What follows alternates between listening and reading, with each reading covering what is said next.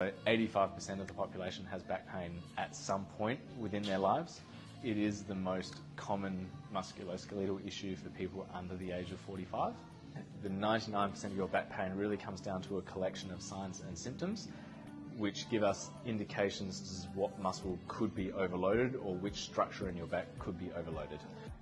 The big misconception that people come in with is that they often say they've got a lower back problem and they often don't. They often have a lower back solution. So your lower back is the group of muscles that's connecting everything in your body.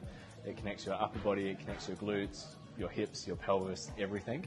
So if you've got a weakness in any one of those areas, the muscle or the group of muscles that are going to take over from that is going to be your lower back.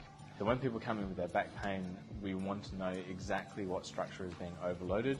We want to know why that's occurring in the first place as well. So that means understanding what your lifestyle is, what your daily movements are, what your regular exercise is as well.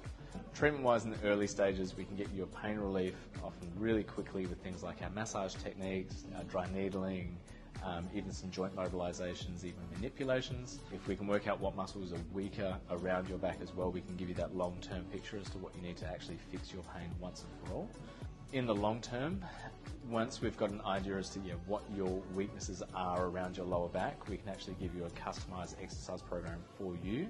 It addresses specifically what your weaknesses are, and then if we can fix all those up, you know that your back is going to be feeling better in the future as well.